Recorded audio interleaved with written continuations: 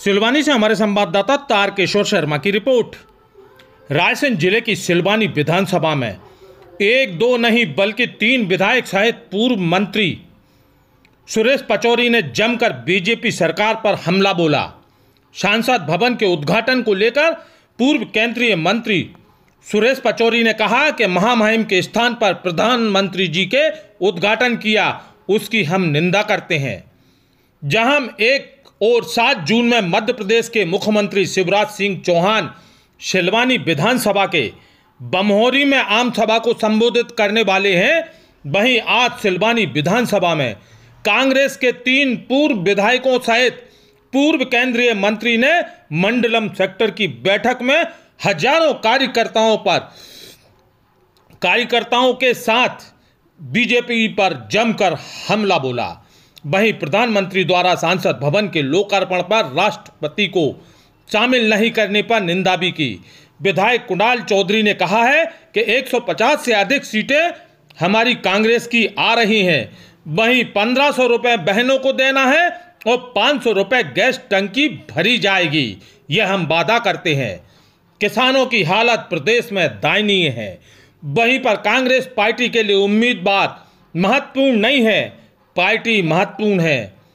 यह हम सभी संकल्प ले रहे हैं और कार्यकर्ताओं से संकल्प दिला रहे हैं। बीजेपी सरकार में किसान परेशान है। उसे वाजिब दाम भी नहीं मिल पा रहे हैं। वहीं गरीब और अनुसूचित जनजाति के लोग परेशान हैं। नारी शक्ति का सम्मान होगा। भरपूर रोज़गार देंगे। महिलाओं को पंद्रह सौ रुपये प्रति माह देंगे। और रोज़मर्रा की आवश्यक वस्तुओं का दाम कम करेंगे। जीतू पटवारी ने कहा कि आज जो अपराध का ग्राफ बढ़ रहा है, सरकारी कर्मचारी परेशान है। यह प्रजातंत्र नहीं है।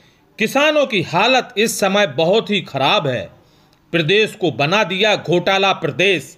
प्रदेश में कानून व्यवस्था की हालत चिंताजनक है। प्रदेश में व्यापन घोटाला सिंगस्त घोटाला नर्सिंग घोटाला मध्यान्ह भोजन घोटाला और रोम जैसी अनेक घोटाले हुए हैं, जिनकी सरकार सही समय पर जाँच नहीं कर रही है।